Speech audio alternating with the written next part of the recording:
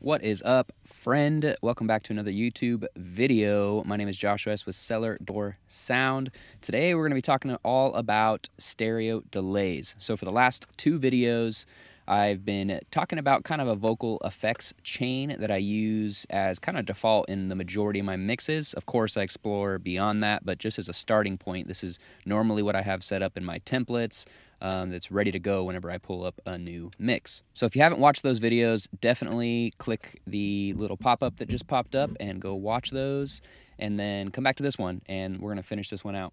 But as always, before I get into that, if you're just learning and just starting out and mixing and trying to figure out how to mix your own vocal, make it sound awesome, make it fit with your song, I created a ultimate vocal presets bundle that has over 30 presets for EQ, compression, and saturation.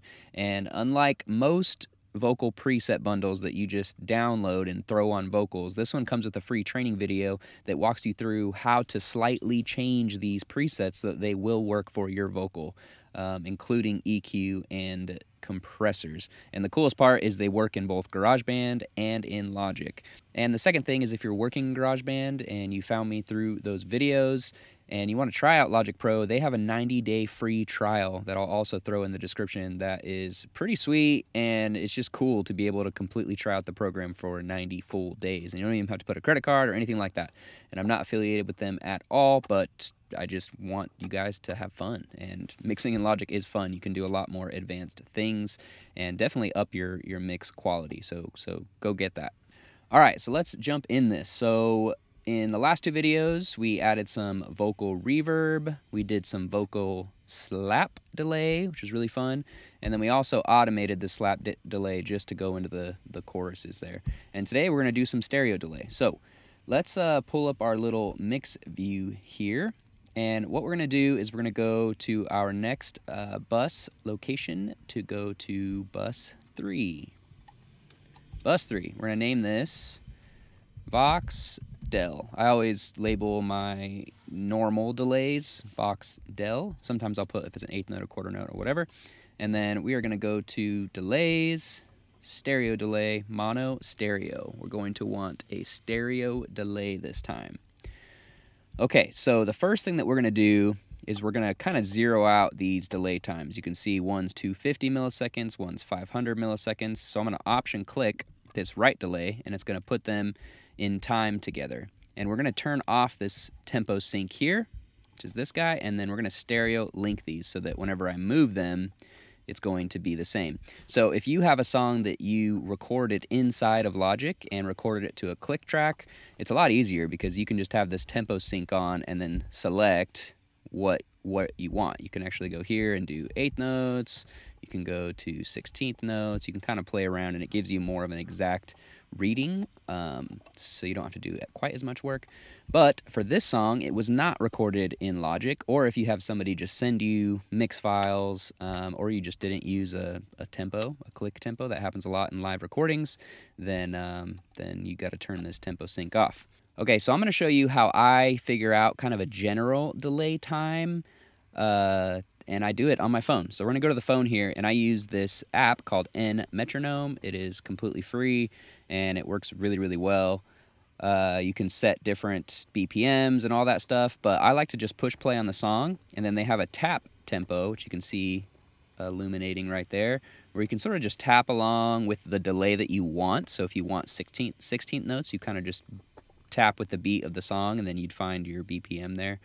Um, and it's, I don't know, it works out pretty nice. All right, so I'm going to push play and let's try it. I the fight to take revenge, although we we die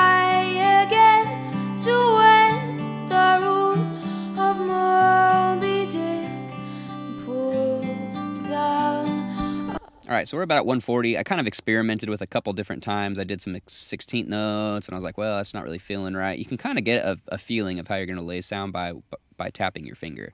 It helps it helps uh, avoid some of the guesswork because a lot of times you'll start tapping your finger and you're imagining those delays with your tap, and you're like, ooh, that might be too much. Um, sometimes I like to do a lot of like triplet type things because it's fun, but we're already getting a, a pretty big triplet type sound in this song and I don't really want that. So Now what we're going to do is, since this is at 139 BPM, we're just going to call it 140. We're going to go to good old Google here, and we're going to go uh, BPM to millisecond calculator. We're going to click this guy right here, and it's going to... All right, so we're going to type in 140. All right, so 140 is going to give us some quarter note, all these different things. So we're actually going to try the quarter note here. So we're going to do 429 milliseconds. So we're just going to type this in, 429 milliseconds. It's not going to let us do 429. I guess 40, 430 is where we're at. And I'm going to just mute our Vox Verb and Vox Slap, and let's just see if this starts to sound good. I'm going to turn up this knob here. I fought to take revenge. Although we died, we die again. To All right, so this is just a little bit late, so I'm going to pull it back just a little bit. Let's just see. I fought the fight to take revenge. Although we died, we die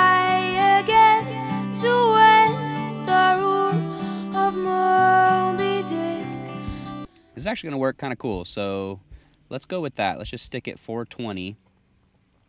Now, I'm going to turn this up a little bit more. The cool part about this is right now we just have the left delay and right delay just coming straight down the center, right? So what I'm actually going to do, and again, definitely recommend headphones when you watch any of these videos, but you're not going to be able to hear it if you're watching it just on a phone or just computer speakers. We're going to turn the stereo link off. And I'm going to remember this 420 milliseconds, and I'm going to go plus 10 in either direction. Plus 10 here and minus 10 here. So we're going to go to 430 here, and we're going to go 410 here. And watch how this changes the sound here. I fought the fight to take revenge. Although we died, we died. So this creates a movement where it's almost like kind of spinning around the the left and the right. Just to kind of go back and forth here, we're gonna we're gonna go ahead and do our 420 again. 420, and listen to this. I fought the fight to take revenge. Oh, Right, and then we're gonna go 430 and 410. I fought the fight to take. And you can do this anyway. You can have the right hit first or the left hit first. I think we're actually going to do the right for this one. So let's do 410 and let's do 430. I, Oh, oh, oh, we missed it. I fought the fight to take revenge. Although we died, we died. and it's really cool. It's a really awesome kind of moving stereo thing.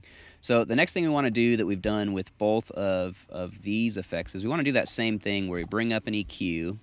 So we're going to go to our channel EQ and we're going to cut out some of this low end here. So we're going to go about to like 200-ish. And then we're going to cut out some of this high end. So we're going to go to about 5K, somewhere in there, and let's hear it. I the fight to take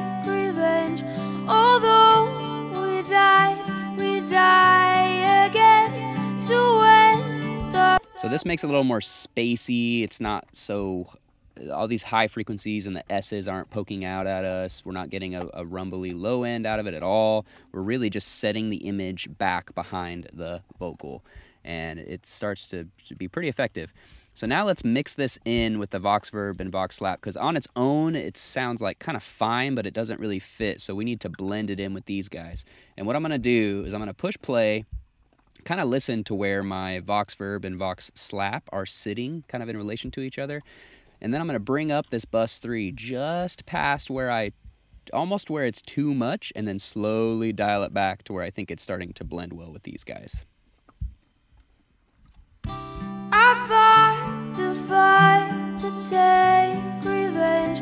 Although we we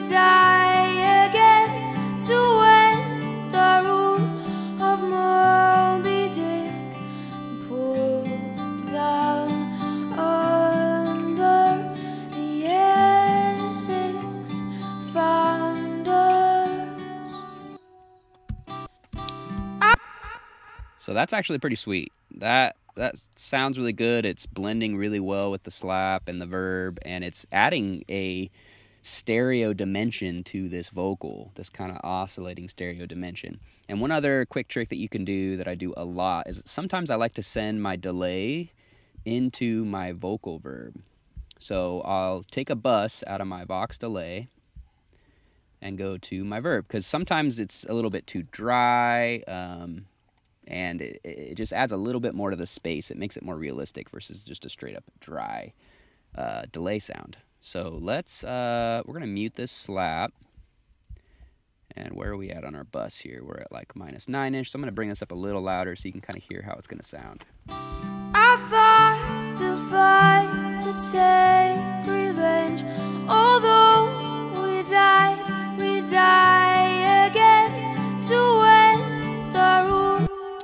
Which is pretty cool. And now we have our delay that's getting a little bit of reverb on it that kind of makes it even more just spacey, but it's not taking away from anything. We're not adding another reverb on top of everything. It's it's just blending in really well with the lead vocal.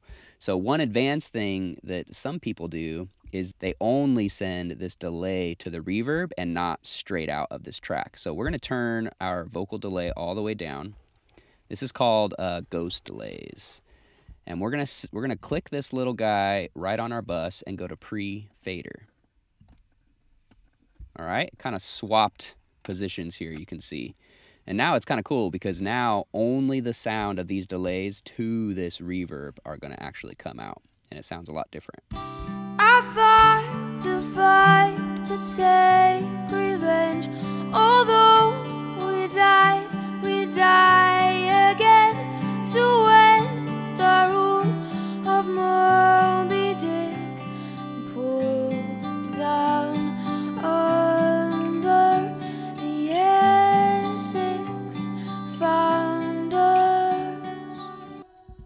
That's pretty sweet. That actually sounds really good. So this last thing I'm going to quickly do is I'm just going to I'm just to bring this guy back in to get a little bit more of the dry, but keep this position because it sounds so cool going back into that vocal reverb. I fought the fight to take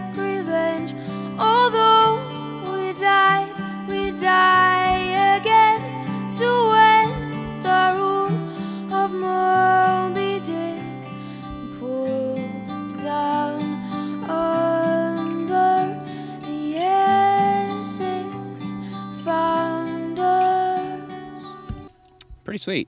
Okay, so now we're gonna we're gonna just show what we've done during these these vocal effects uh, lessons here, and I'm gonna turn off all of our effects so we can hear a little bit of just how it was in the very beginning, just vocal and music. I fought the fight to take revenge. Although we died, we die again. All right, let's try our effects now on here. I fought the fight to take revenge. Although we died, we die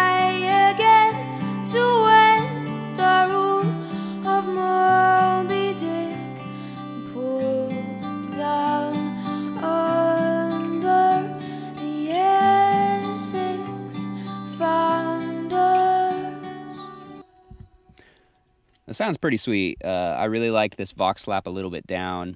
Once we listen back with this delay, sometimes that happens. Sometimes the the slap and the and the reverb sound great together, but when you add another delay, it kind of sounds like it's too much. So I'm just gonna lower this guy uh, a couple dB. And then these effects are in a really good spot. Uh, so just to recap everything that we did, this was kind of a fast one, kind of moving through things really quick. Um, but we added a third effect here on a bus. We named it Vox Del for Vox Delay. We did the stereo delay. We used the app to find the BPM. And then we used this little calculator here. This is tuneform.com slash tools, but I usually just type it into Google and this always pops up. We found about what our quarter note delay is from what we were tapping. I typed it in, had to adjust it a little bit, and then we did plus 10 milliseconds and minus 10 milliseconds to to sort of create a stereo spread that sounded really cool. We brought this EQ in, took off the low end, took off the high end, and then we played around with sending some of this to the reverb before this fader even changes it and then add a little bit of this fader and we get um, a really cool sound. So I hope you enjoyed that video. Uh, thank you so much for watching this effects series. Again, if you have not gotten the Ultimate Vocal Preset Bundle, I highly suggest that you go get that. Just click the link in the description. It comes with 30 presets for EQ, compression, and saturation, and it works with GarageBand and Logic Pro, which is which is awesome. Like both both platforms. So if you really know GarageBand, you can bring over your presets to Logic. And that's at cellardoorsound.co slash free presets. So thank you so much for watching, and I will see you next week.